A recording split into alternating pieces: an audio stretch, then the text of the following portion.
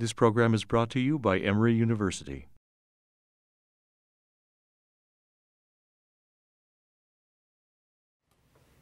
Thank you very much for this uh, nice introduction, and thank you also for organizing this lecture and event here at Emory uh, University. I'm really happy to be here at, the, at your law school.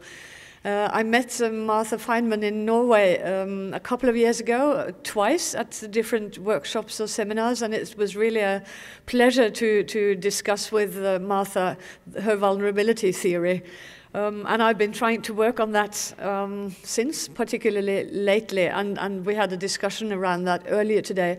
I'll, I'll um, try to integrate some thinking about vulnerability in what I do tonight, but it's not particularly on the vulnerability, it's more on the committee's work in general, but we might touch upon it in the discussion possibly also. Um, and it's really nice also to be here um, as part of the celebrations of the 25th anniversary of, of the UN Convention. And uh, listening to uh, your dean, it was really interesting to hear how you have uh, stressed or placed a particular emphasis on children and the needs of, of children at this law school. Um, so I, will speak first a bit about the convention, not a lot about the convention. I guess many of you know it, at least partly. Uh, so, or maybe it's different. I guess many know, or many know, many do not know so much about it. But anyway, uh, why do we need a separate convention on children's rights? You may ask. Because uh, children have rights under all other human rights conventions as well. I mean, they, they apply to all persons. They don't say that children are accepted in any way. But children have tended to be invisible under human rights, other human rights conventions, like the one, uh, the UN Convention on Civil and Political Rights and the UN Convention on the Economic and Social and Cultural Rights. So people have tended to forget that children have rights. So that was kind of one of the main points of, of making a separate convention was to show legally that children have rights, that the rights, the human rights apply to children as well as to adults. So you could say that that is a legal purpose of clarifying this. Then you could also say it has a symbolic purpose to show the world that children are rights holders and to show children themselves that they are rights holders.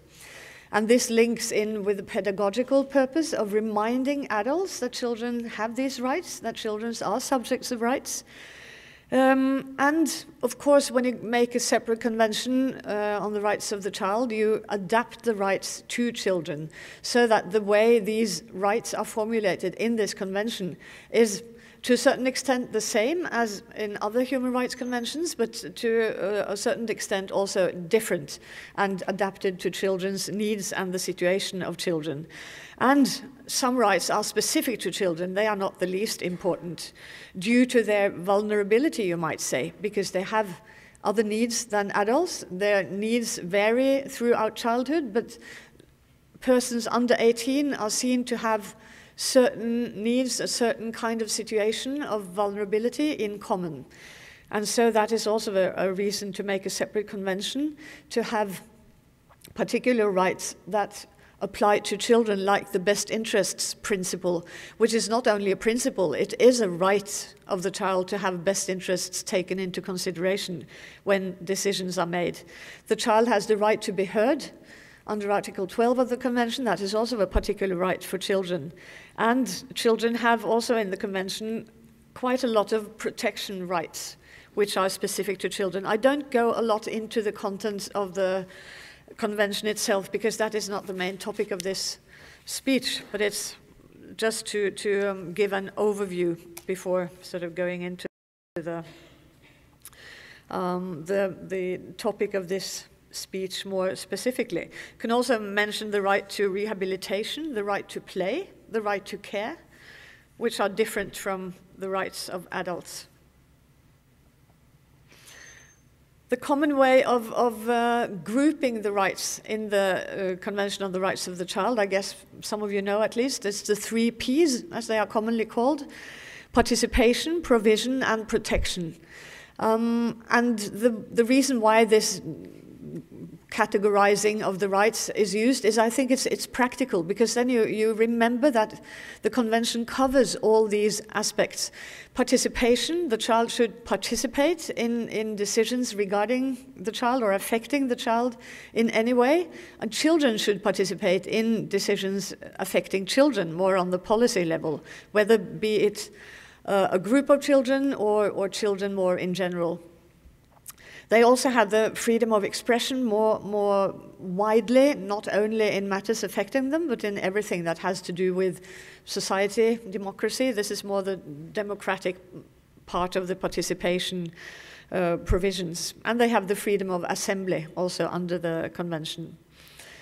Then the provision rights would be the right to have to be provided for with different kinds of services and with money for that matter. It's the right to health, the right to education, the right to a standard of living. So it would be the economic and social rights. Then, as I mentioned, children have rights to protection. They have a right against all forms, uh, to protection against all forms of violence. They have a right to um, protection against abuse and neglect and against different forms of exploitation. It might be exploitation as laborers or as uh, sexual workers, sexual exploitation, and exploitation in drug trafficking and so on. So these mostly cover all the rights of the convention, except maybe the best interest principle, because it goes into all of this. And also the non-discrimination rules, that it covers all.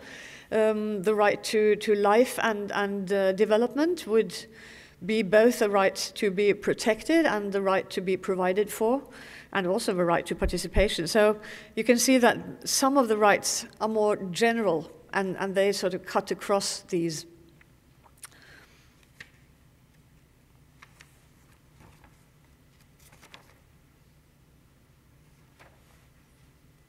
And I think um, thinking about vulnerability, um, the vulnerability of children, maybe what strikes first is, or what you think about first is the right to protection, because children are vulnerable, they need protection. But of course, the, the provision rules are extremely important as well to, to deal with children's vulnerability, because you can't be um, you can't be protected and, and you cannot have, have um, a proper life and development as a child if you don't have your right to health uh, implemented or your right to education. And also to, to um, in a way, counter your vulnerability, you might say you need the right to participation, to, to um, even if you're vulnerable, to be able to exer exercise some kind of autonomy. So just to sum up, the significance of the Convention on the Rights of the Child is that it views the child as a rights holder. That was a kind of new way of thinking in 1989 when the convention was made. We had some previous um, declarations on the rights of the child. It was one from 1924, quite general, but still important five principles, I think. Then we had the Declaration on the Rights of the Child in, in um, 1959, I think. Um, and that was, it, it's called the rights of the child, but still it was not binding on the states. It was not formulated as rights in the way that the convention is.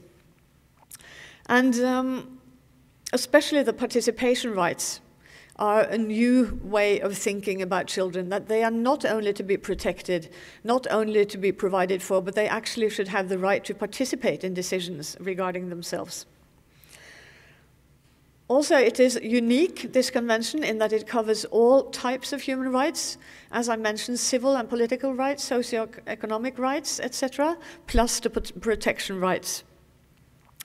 And it is special in that it's ratified by almost all states in the world, except, as you know, the United States, and in addition, Somalia and South Sudan. Somalia is a rather disorganized state, and South Sudan is a new state. So I won't say anything more about the US. but it would be very interesting to, to have the, the convention ratified by the US, really. And the US has ratified its two optional protocols, so it's not that um, the US doesn't want to be bound by, by international rules in this respect, but I, as far as I understand, there are many different reasons why it's not being ratified. But anyway, these 194 ratifications, which is really a lot more than any other convention, um, makes the CRC a strong instrument, not only politically and morally, I would say, but also a strong legal instrument to really use to, to get the rights that children have the right to, are entitled to. Then about the working methods of uh, the committee. We are a, com a, committee consisting of 18 members. We are so-called independent experts. Um, actually, we are supported by our states in the first place. They nominate us. The, we have to be nominated by a state in order to run for uh, an election as a member. But then we are elected by the General Assembly of the United Nations. And once we have been elected, we are so-called independent experts. So we should not be too close to our own state or to any other state. We should be able to act in an independent manner. The members at present are from countries all around the world. From Africa, we have Ethiopia, Tunisia, Egypt. Then from Asia, we have Saudi Arabia, Bahrain, Sri Lanka, and Malaysia. Often um, Tunisia and Egypt are seen together with Saudi Arabia and Bahrain to form the MENA region, Middle East and North Africa region, so that depends a bit. But the, the UN uh, formal uh, division is as this. Uh, Ecuador and uh, Brazil from Latin America, and then we have quite a few European countries. And um, you might say this is not such a good thing because we would like to have more representation from all over the world, but this is the, the um, uh, members or the possible members are nominated by their states, as I said, and it's up to the state whether they vote for them or not. And last time we had a lot of candidates from Africa, and only one of them was elected. And possibly that was because there were too many candidates, so the votes were too spread out in a way. But at least, or anyway, from, from Europe, we have Spain, Monaco, Italy, Austria, Hungary, uh, Slovakia, Russia, and Norway. So it's, uh, it's a big um, group, but quite a few of them are from, from East uh, Europe at least, Hungary, Slovakia, and Russia. Um, the reporting process, uh, the convention says that the uh, country or the state should report every five years. So in principle, we get reports from all countries every five years. Uh, in addition, we get separate reports for the two optional protocols, the first time states report after they're ratified. The two first optional protocols are on uh, the sale of children, child exploitation, and uh, uh, no, I mean child uh, prostitution and child pornography. That is the one, and the other is on children in armed conflict. And 167 uh, has ratified one of them, and 157 states have ratified the others. I don't quite now remember which is which. Doesn't really matter, but it means we have got a lot of reports from from states under those two optional protocols as well, including the United States the first time they report. Then we get supplementary reports from national human rights institutions of that country. Uh, we get reports from UNICEF in the countries where they are active. We get a lot of reports from NGOs. They may be international NGOs like Plan International and Save the Children, but they are also often national NGOs. Um, dealing with different issues within children's rights. They may also, also be more specifically on children with disabilities or the global initiative to end all forms of corporal punishment and so on. We get a lot of um, NGO reports, which are really useful for the committee in its work. We need to get some information, some alternative information through other sources in order to be able to ask the states the right questions and not just accept everything, well, we could accept what is in the report, but what is not written in the, in the report is often uh, just as interesting as what is in the report. Um, and the way it is formulated may be a bit more shiny than, than the reality, and then it's, it's good to get other, uh, have other sources of information to, to hear what's actually going on in the country. So then, after having had all of this written material, we have a pre-session with uh, these institutions or organizations, uh, the NGOs and the uh, national human rights institutions, UNICEF, uh, and so on. They come for half a day and, and um, update us on their material and can clarify and give us additional information. Then we write a list of issues, a list of questions to the state that they have to answer before they come for the dialogue. So we get some written replies from the state. Then we have a dialogue with the state in Geneva.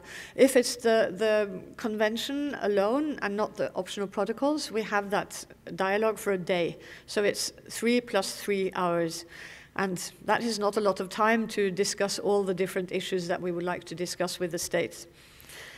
And also, the, the reports from the countries are going to be shortened uh, from next year, and that will also be a challenge for the states to provide us with all the information they would like to give within a much shorter space. Um, I must admit, I don't remember quite now what, if it's 40 pages or whatever.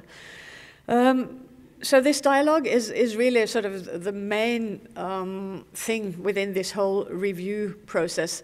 That is where things happen, is in the dialogue where we can discuss with the states. What comes out of it at the end is the concluding observations from the committee, where we give our concerns on, on the different rights of the child or the situation of children in different areas, for instance, in education, in health, with regard to family life, with regard to the right to be heard, with regard to children in conflict with the law. I mean, this, this convention, as you know, it covers such a lot of different issues. And um, we try to deal with as much as we can in these concluding observations. They have also become often rather long, and we have been told by, by the states there's been a treaty body strengthening process that I guess some of you know, uh, which has um, had a, a, good outcome last March or April in the, in the um, General Assembly of the UN giving us some extra time every year to deal with uh, reports. So we are going to split into two chambers part of next year so that we can deal with twice as many um, countries because we have a huge backlog because of all these extra reports we have got um, under the two optional protocols. Um, anyway, this is one thing, we got some extra time, but they also said we want your concluding observations to be shorter. So we have to make them shorter and, and then more focused. At the same time, they are supposed to be concrete enough for the countries to act upon. And that is a challenge to make them short at the same time as they should be uh, focused and concrete. I should mention also the individual complaints mechanism. Um, it was there's an optional protocol which is called the third optional protocol on the communications procedure. It was adopted by the UN General Assembly in December 2011, so it's almost three years ago. Um, in January, 14 states had ratified this um, optional protocol, and 10 states were enough to, to have it enter into force. So it entered into force three months later in April of this year. Um, we have not had any complaints yet because, as I say, uh, almost at um, no, it's it's um, point number four. The violation must have occurred after that state ratified states ratified the optional protocol. So that's why we don't have any complaints yet because 14 states have ratified, and the violation, the fact that the child complains about, has to have happened after the ratification of that state. And in addition, they have to um, exhaust all available domestic remedies. So for most states, that means that they have to go through the court system before they can come to the committee, which takes a long time normally. It shouldn't, but still. And then there's a time limit of one year uh, to, to uh, complain to Geneva, to the committee, um, after they have exhausted the domestic remedies.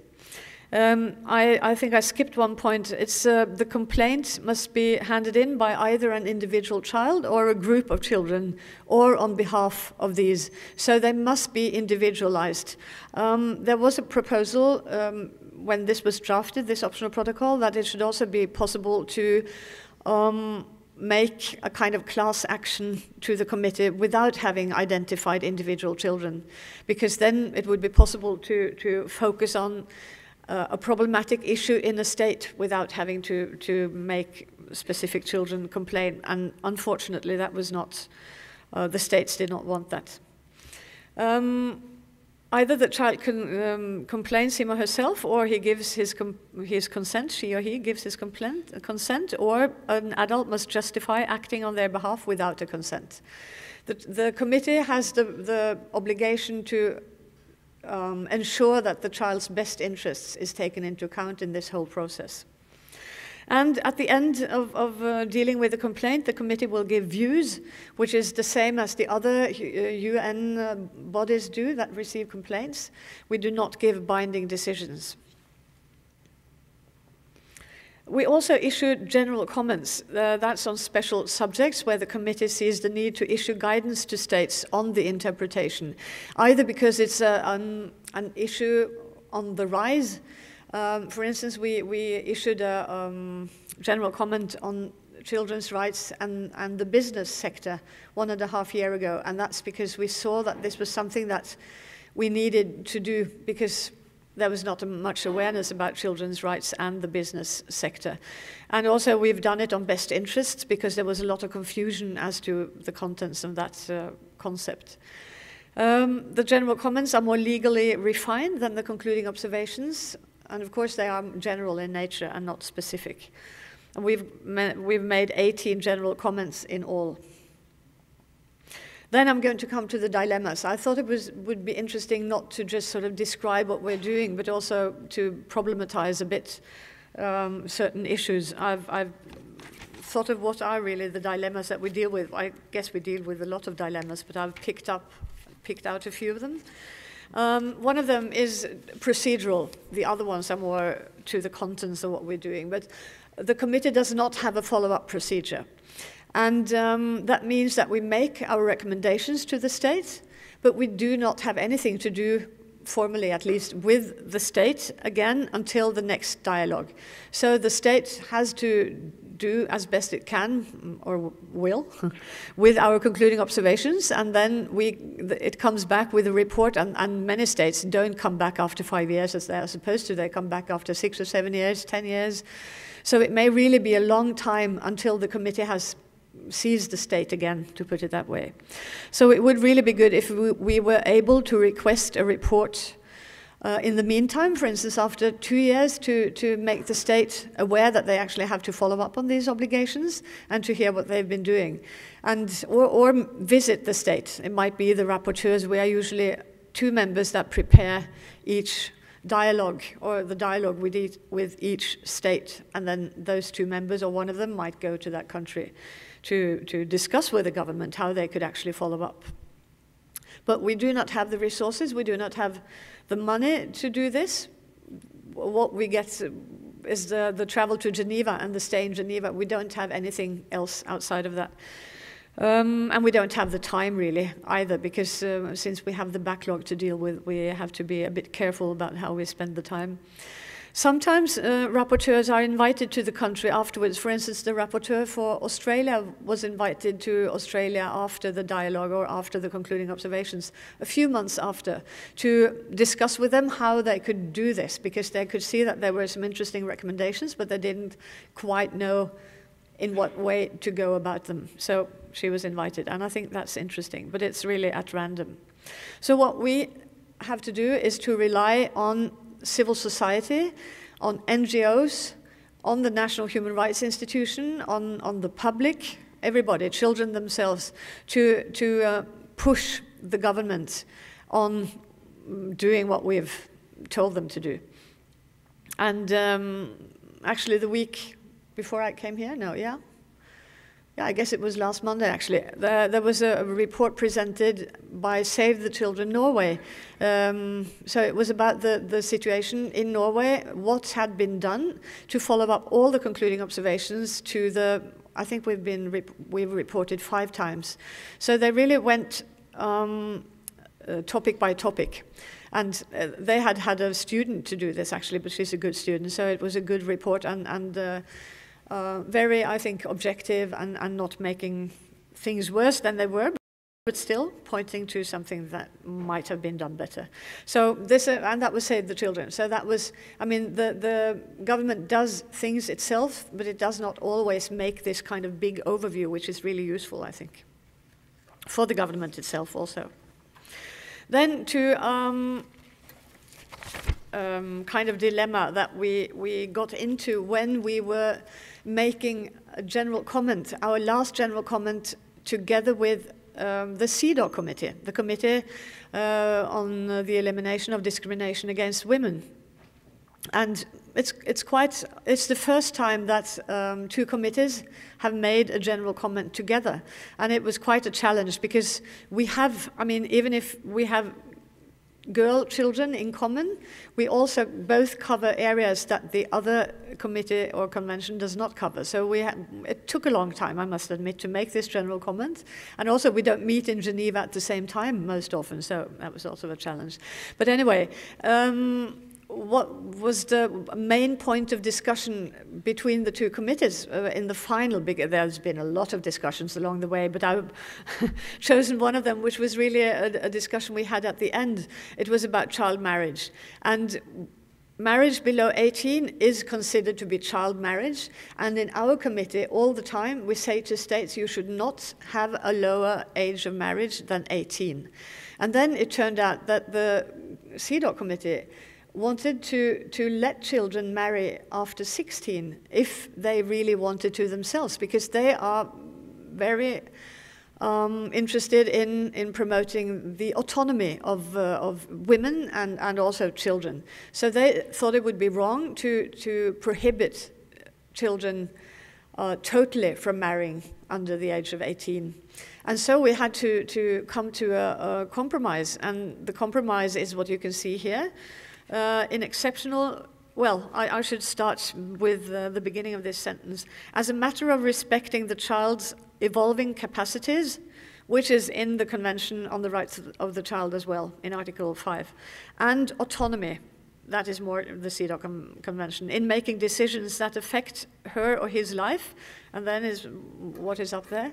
In exceptional circumstances, a marriage of a mature, capable child below the age of 18 may be allowed, provided that the child is at least 16 years old and that such decisions are made by a judge based on legitimate, exceptional grounds defined by law and on the evidence of maturity without deference to cultures and traditions.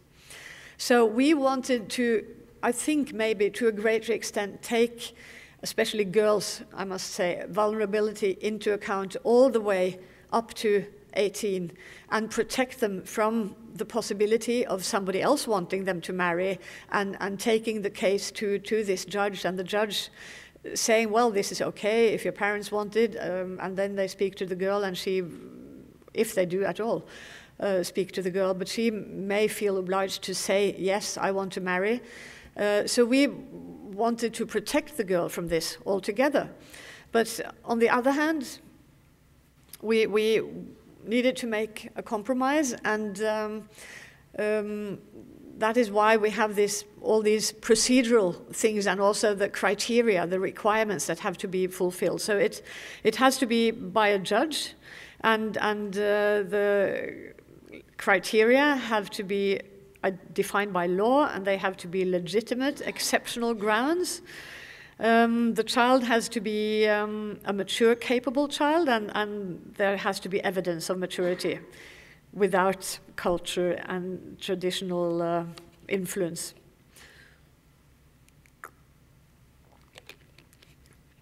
So I, I, think this is quite an interesting um, example of how you can see vulnerability up against autonomy in a way in this case. So, but what we have seen from, from many countries is that they have this um, exception, and it's not the exception, it's the rule. And that is the problem with uh, all exceptions, I think, um, that they, at least many of them, become rules instead of just exceptions. Then about circumcision of boys which, has, which is an upcoming topic um, as a violation of the Convention of the Rights of the Child. At least there are strong forces that say that it is a, a violation of this convention. It's uh, a growing movement, I would say, to end circumcision of boys. There's an organization in the UK which is uh, very active on this. The Scandinavian ombudspersons, um, maybe the, particularly the Norwegian one, who is a, a pediatrician. Um, she really wants to stop this practice of circumcising boys when they are newborn or, or small children. Um, so you might ask in the first place, is this a violation of, of the child's physical integrity? Is it violence to the child? You, you cut uh, the child, it hurts there and then. Uh, it may not have harmful consequences. In, in a few cases, it really has harmful consequences. We had a boy of two who died because uh, this was not done properly at the, um, at the doctor's. Um, anyway, these are things that we are discussing at the moment inside the committee also. Is this to be seen as a violation of the physical integrity? Is it violence? And even if it is a kind of small violence, um, if you would consider it small, uh, there's the question or the issue of freedom of religion. And then is it the freedom of religion of whom? Is it the, the religious society? Is it the parents? Or is it the child? And if it is a question of the child's freedom of religion, maybe then one might wait until the child has the autonomy to decide for him or herself, that he or she would be old enough to do it. Um, and that is the point of view of the Norwegian ombudsperson, is to, to, um, to see this as a question of autonomy, and you should not do, make such a violation of the physical integrity until the child is old enough to consent him or herself. We had this discussion in the committee in 2013 when Israel was before us. And uh, we had a, a, quite an interesting discussion and ended up with saying this. The committee expresses concern about repeat, reported short and long term complications arising from some traditional male circumcision practices. So we refrain from, from talking about circumcision in general and instead mention these some traditional male circumcision practices, which are they, they drink the blood of, of uh, the baby, and uh, they may also not be very hygienic, as far as I have understood, because they can have some complications. Um, and recommended that the, that the state party undertake a study on the short and long term complications of ma male circumcision. So we didn't uh, recommend them or advise them to stop it completely, but to undertake a study so that they could sort of start maybe preparing the ground for at the later stage prohibiting this kind of circumcision. Then to abortion. We had the Holy See before us in, in uh, January, February. And um, the Holy See has ratified the convention uh, not only on behalf of the Vatican State and its 36 children, but on behalf of the Catholic Church all around the world. And um, they have ratified, and at the same time, they say that we cannot do a lot of things because this is under the jurisdiction of the countries themselves. So it's a kind of tension um, built into this ratification. Uh, but on the other hand, they say that what we can do is to encourage the implementation of the convention all around the world in the Catholic countries. So that's what we held them to, that they should encourage uh, whenever they had the possibility to. I'll only mention here, we, we had a lot of discussion on sexual abuse with, uh, with the Holy See.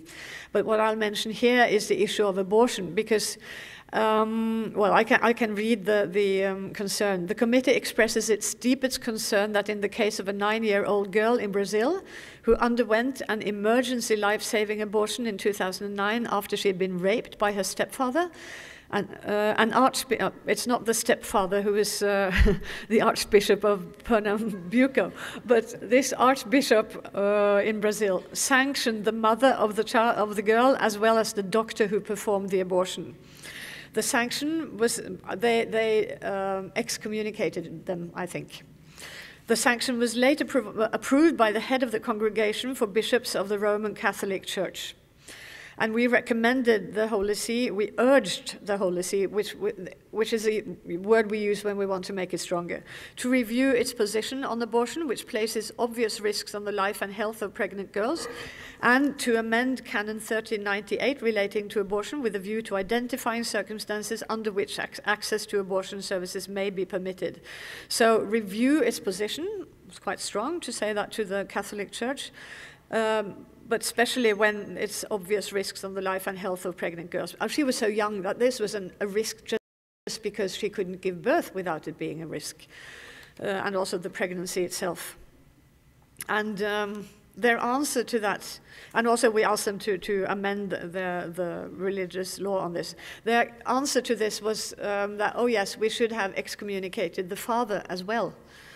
Um, that was in the dialogue. Um, well, you could say that there is no right to abortion as such under the convention. Um, and then when abortion is prohibited and even criminalized in, in many countries, can the, the committee intervene into this? You have the freedom of religious societies to decide on their own internal rules, but you have on the other side, on the other hand, the right to health and protection of the pregnant girl. And, and we are really not in doubt that this has to come before the freedom of religious societies to make their own rules. Um, so then where to sort of draw the line is a different issue, but when the health and, and uh, even life of the child is in danger, you need to, to have provisions to make abortion possible. Then to the rights of the family, as against the rights of the child, because there is a global, global movement which is really growing at the moment in favor of the family. And I, I heard Martha told me that there's been a, a proposal by, by um, well, religious societies, I guess, in, in the US to have parental rights uh, included into the constitution. And I guess that is part of the same movement. And um, it, it may look innocent, this family movement. They organized a um, Human Rights Council panel in, in September, and, and it was um, uh, prepared in June, and the resolution really looked very nice and, and uh, acceptable to all. So I think 95 states or something um, supported this resolution of this panel. Um, but what it turns out to be is that it does not recognize different types of family, like single parent families, even, but also same sex families are not recogni recognized by, by this global movement. Um, and also the rights of individual family members within the family uh, to freedom from violence, etc., are not uh, recognized. It's, it would be the women's rights and children's rights. And this makes, of course, children and women very vulnerable. If, if you strengthen the right of the family, it would really often mean maybe usually mean the right of the father to exercise his authority. Um, it was interesting to hear, uh, I was present at this Human Rights Council panel in Geneva in, um, in September, and, and uh, there were some really strong statements by states um, promoting, for instance, same-sex families, or at least supporting same-sex families, and saying clearly that they support this, this kind of family. They, they uh, do not want to discriminate against them. And uh, they are really against this um, rights of the family. many European states, but also quite a few other states from Latin America and so on. Chile was very strong, for instance. Um, so really, this different types of family and also the right of the child to be free from all kinds of violence within the family was all strongly um, out to the Human Rights Council in that uh, panel. So I, I, think in that panel, um, the, the family movement didn't manage to come out very strong. It seems to consist of, of uh, countries, I mean governments from Eastern Europe, uh, Russia, Hungary, and so on, and uh, aligning with states of Africa, governments in certain states in Africa, and also then with the religious movement in, in the United States, and also, I think, uh, Islamic states. So there's a kind of oh, strange link between all of these, uh, but they have the same, seem to have the same goal. Um, in some countries, we actually see a backlash regarding children in conflict with the law. Uh, related to this family movement, which is a bit strange, I think, because children in conflict with the law doesn't have very much to do, I mean, at least not when they become in conflict with the law, to do with the rights of the family. But it seems that any kind of strengthening of the rights of children and adolescents are seen as a threat to the family. And uh, in some countries, this is the, the area, the conflict with the law, where they have seen it most clearly, I think.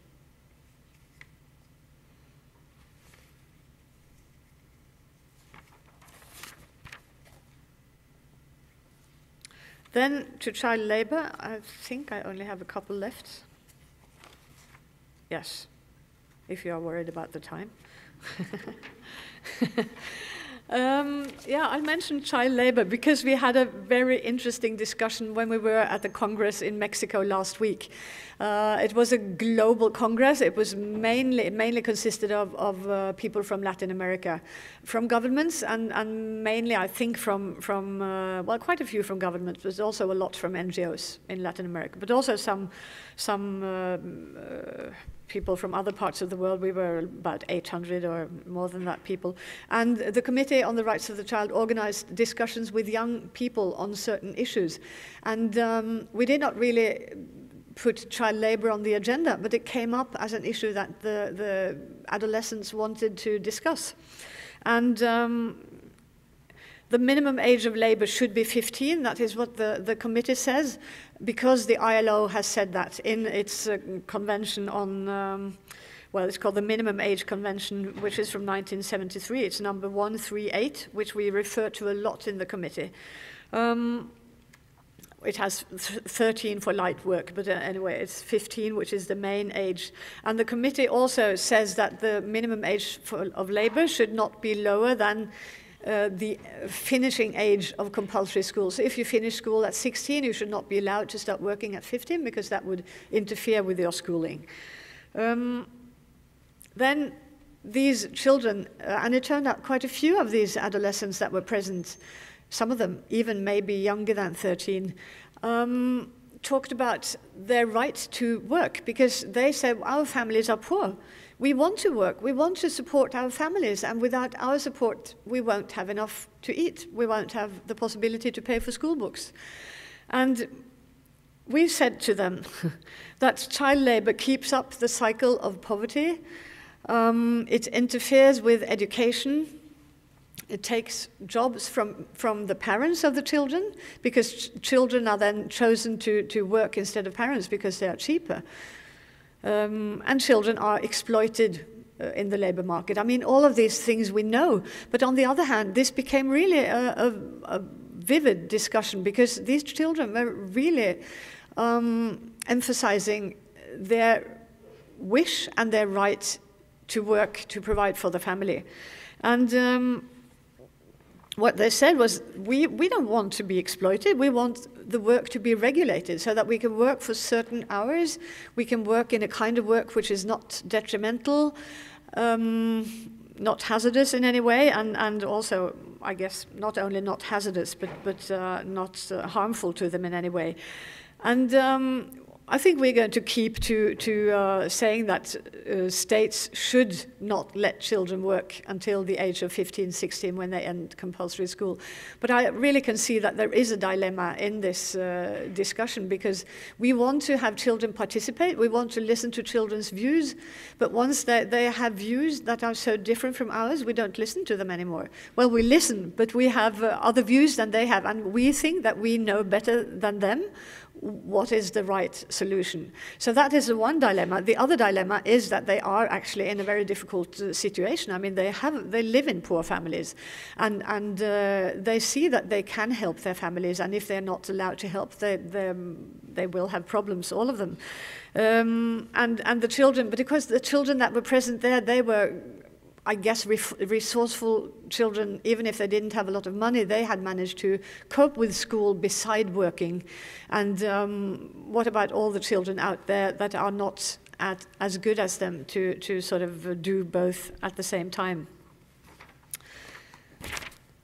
Then to my final dilemma. It's about designating vulnerable groups of children. And I had a discussion at lunchtime with some of you who are present here about this issue because uh, I've been preoccupied with this while writing an article on the CRC and the vulnerability of children because reading Martha Fineman's uh, excellent work, I, I, see that we should not be designating vulnerable groups of children because uh, it might be stigmatizing. Uh, but the convention itself has specific provisions for children with disabilities, children of ethnic, religious, and linguistic minorities, for refugee and asylum seeking children. I think they are the main ones that are specifically mentioned in the, in the convention.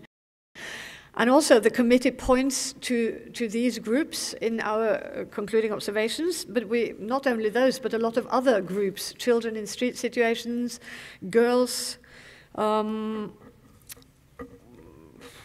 yeah, all, all sorts of children in institutions and so on. And we find it, it's necessary to do this in order to recommend target, targeted measures to, to this, these groups. I mean, to make the, the states aware that they have certain problems and what those problems are and, and what the state could do to deal with those problems. Um, however, I can understand that it may be stigmatizing and be the basis and justification for discriminatory um, treatment. For instance, we said to Kuwait this year about Bidoon children, which is a kind of stateless children. Um, we said the committee is, however, concerned that due to the marginalized situation of their families, Bidoon children drop out of school and work on the streets and or as domestic workers. And we, addressed, we, we urged the, par- the, state party to address the root causes of poverty and of the economic exploitation of Bidoon children and ensure that families living in poverty receive financial support and free and accessible services and that their children do not drop out of school. So in a way, I, th I think it is true that when we describe them in this way, it's not very nice. I mean, it, it is in a way negative. We say they drop out of school, they are exploited, um, they, they, uh, they uh, work on the streets. On the other hand, what Martha answered to me during lunch was that we, we need to look at the institutions and, and what makes them, what puts them in this situation and what can be done about the institutions to, to uh, improve the situation. And, and I guess the way we, what we recommend the, the uh, states to do is kind of trying to, to uh, or we, we think that they should make those institutions to address the root causes of poverty and ensure that families living in poverty receive financial support. So in a way, I guess what we, what we recommend is okay and in line with the vulnerability theory, but maybe we need not point to them in this stigmatizing way. I'm not sure. Um, so that was what I, I, had meant to say, I think, in the first place. Uh, you are, uh, so thank you for listening for such a long time. It was longer than I had uh, meant, actually.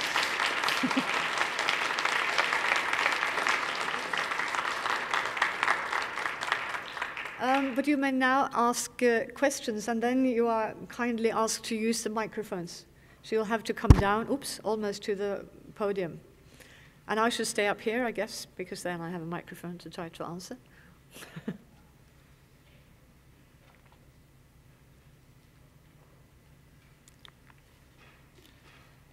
Who is first? Hi, I'm Casey Cooper. I'm a graduate of Emory Law School, and I really liked your presentation. Thank you for coming.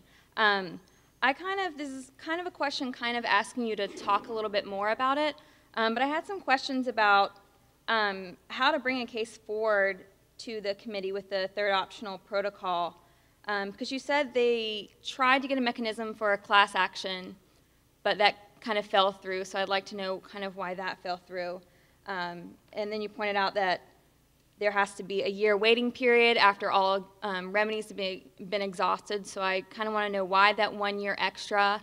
Um, and then with exhausting all remedies, you have children here, and so you're hoping one that their parents are going to bring it forward because children don't necessarily know about the convention, about their rights. Um, they don't know how to bring a case forward. Um, I know that there are some NGOs and organizations aimed at finding these children, but I kind of want to know what are your hopes for these cases actually coming forward logistically? Um, oh, what was your first question? I. Uh,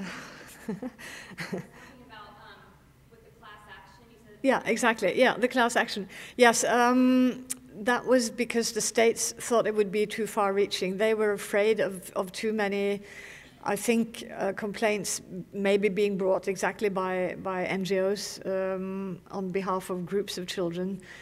So that's I, I can't I can't really answer anything else than that because it's just they didn't want it. And, and I know that Yang Hee Lee was who, who was the previous chair of the committee and who was really uh, eager to have this complaints mechanism uh, adopted. She was very sorry that this uh, um, possibility of class action was not uh, adopted.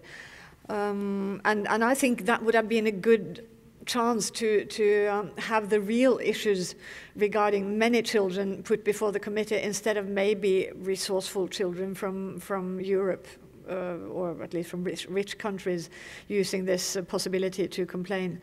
Um, so I, I, I, think it's a pity myself as well. As for the, the one-year time limit, then I have expressed myself unclearly because uh, I, I know it was up there as a one-year time limit. It's the other way. They have to do it within one year. Yeah, uh, because um, they, the state should, I, I don't know it's, if it's about the state, I guess it's about the state's interest. They don't want to have complaints coming long after things have happened. And it's also, it's, it's more difficult to have things um, uh, verified and about the facts the longer time that goes. So that's why. And your last question was how will they be able to um, Yeah.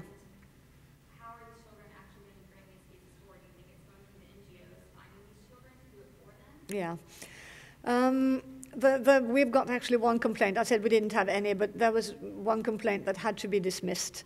Um, it was from a state that had ratified, but the, the, everything had happened before the state had ratified. But that was, uh, just as an example, that was a, um, a boy or man, young man, who was um, around 18, and it was about age assessment uh, in uh, in um, immigration case, and and um, it was put forward by a, a, lawyer. So in that case, it was he was old enough sort of to act on his own, and I, you know, in the immigration system, we often have lawyers uh, representing the young people. So there may be, and I think my country, Norway, is, is rather afraid that we'll have a lot of complaints if they ratify in the area of immigration because the lawyers are very active and, and children's rights have been uh, to the forefront of the discussion a lot in, in that area.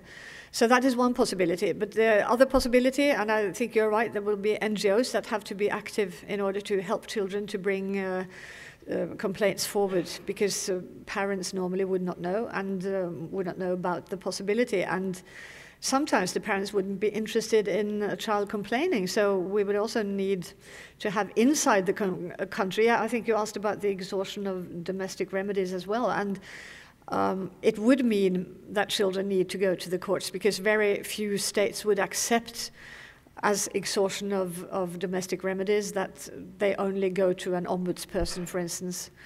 Um, so that is also a kind of tricky thing for a child, and you need then to have child-friendly courts. You need to have uh, legal aid, um, yeah, and you need to have representation for the child, uh, which might not be the parents necessarily if they don't want to support the child.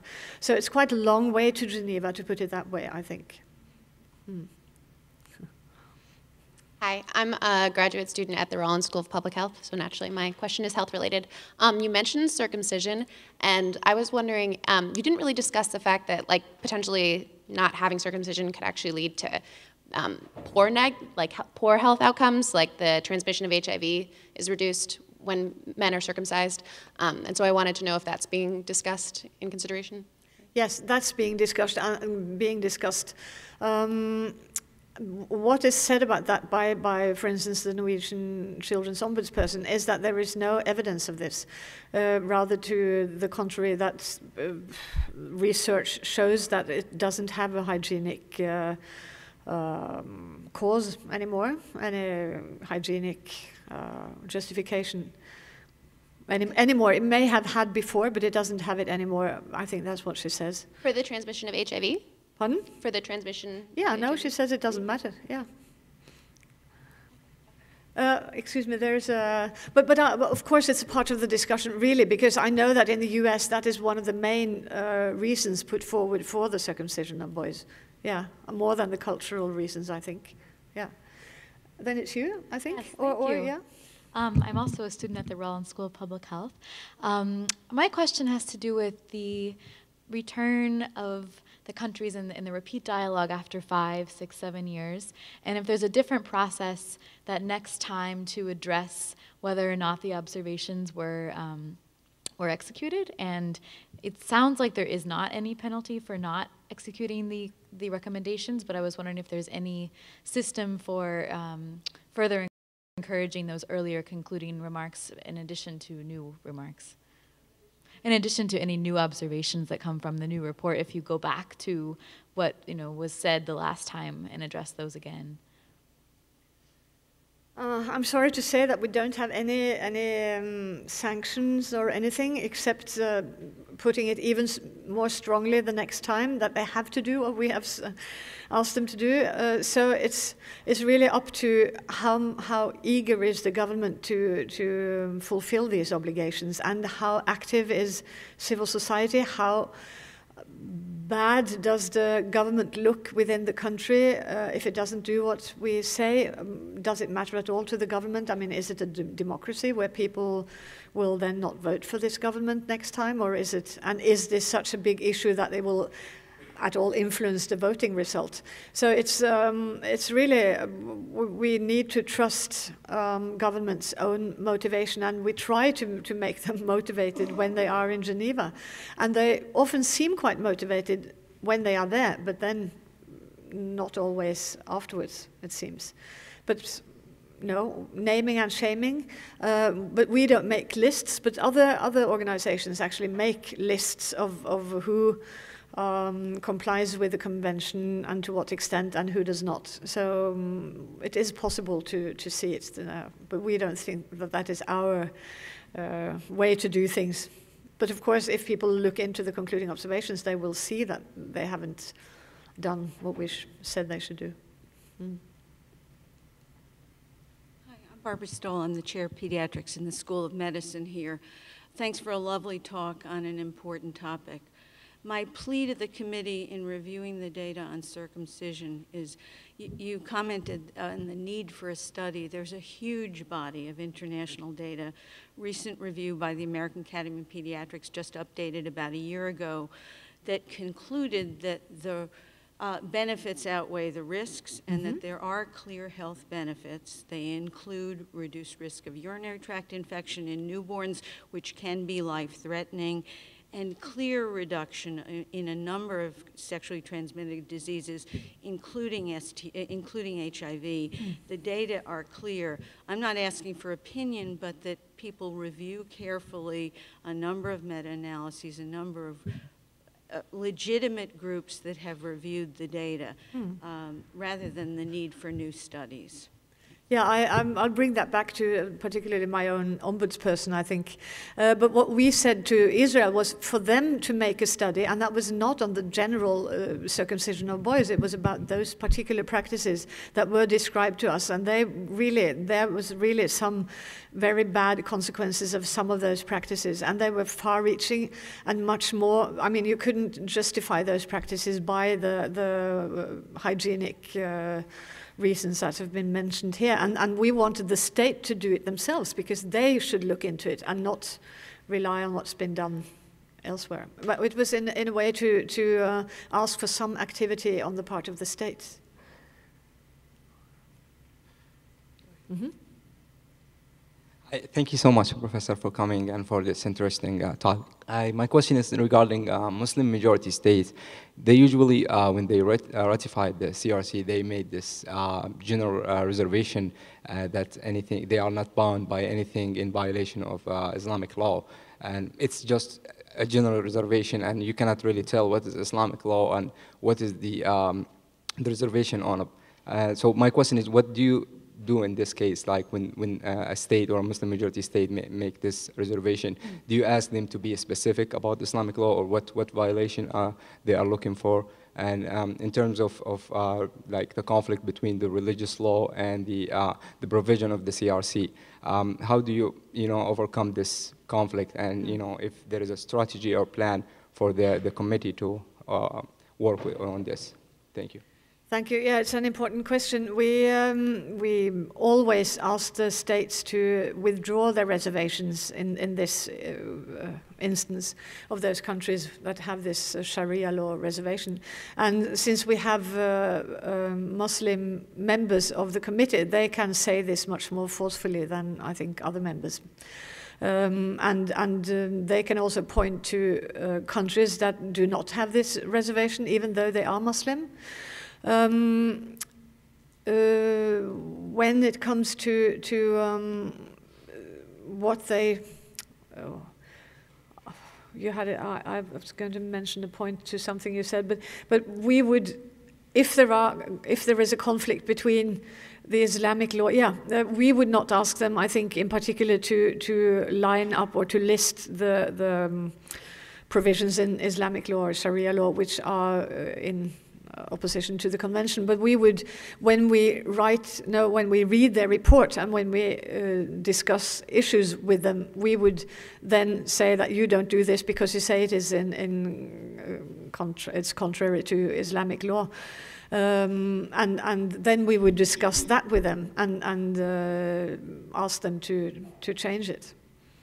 Um, but I think some of our um, members uh, from or Muslim members have actually said that there are not a lot of, of uh, provisions in the convention that are contrary to Islamic law. Um, one thing that we often ask of, ask of, states is that they should have inheritance law that doesn't discriminate between girls and boys, and that is a problem uh, for many states. And then they say that no, we need to follow Sharia law, and we still ask them to, to change the rules. Okay, was that all you asked? Yeah, good. Yeah. Last but not least, Dean. Yeah. Thank you for coming to enlighten us on a subject in which our country is not involved directly. Uh, we do have children here. So, um, actually, I'd like for you to address two things, if you don't mind. The committee's attention to the problem of trafficking of children, particularly sex trafficking as opposed to labor trafficking, and the second thing, does the committee um, pay any attention to the care of foster children, children that the state takes under its control? Foster children, when the state takes custody of children that are not delinquent, they're just parents don't take care of them or they, for some reason. Those two, if you could address those, I'd appreciate it. Yes, uh, we, we certainly do pay a lot of attention to both of these uh, issues. Uh, this um, optional protocol on the sale of children, child prostitution, and child pornography. Um, of course, sale of children is not exactly the same as trafficking, but at least it is very much the same, and also trafficking is mentioned in the convention. So we always raise this issue with the states where this is a problem, and I guess in most states it is actually a problem. And, and when the states uh, present their first report under this uh, optional protocol, we really discuss it a lot with them, what they do to uh, prevent trafficking from happening, and if they are a transit uh, country, what they can do about that, if they're a country of uh, origin or, or of uh, destination, we, we, we always discuss it thoroughly, that they should have the proper legislation and then they should also um, do all kinds of preventive measures and, and have proper follow-up for the victims. So, yeah, I think we deal with that quite extensively, actually. Uh, as for foster children, that is also a, a great concern of the committee, uh, both that children are taken away from their families in, in cases where they should not, not even taken away, but that also family place their children because of poverty, for instance, in institutions often, not even in, in foster families. Uh, and, and deinstitutionalization is really uh, one of our really main issues or main. I mean, we have so many important issues, but it's a really important issue for the committee. Uh, dealing with, for instance, East European countries uh, that have had a massive institutionalization of children. This is something we always discuss with them. So it's both the issue of children being allowed to stay with their families in the first place, and if they have been placed in institutions, how to, and if they cannot stay with their families, then to have them in a family type environment and not in an institution um, and if possible to, to make the conditions for the families, the original families, such that children can actually go back to those families. So uh, we, we deal with this extensively under family environment and uh, children deprived of a family, th those two. Hmm.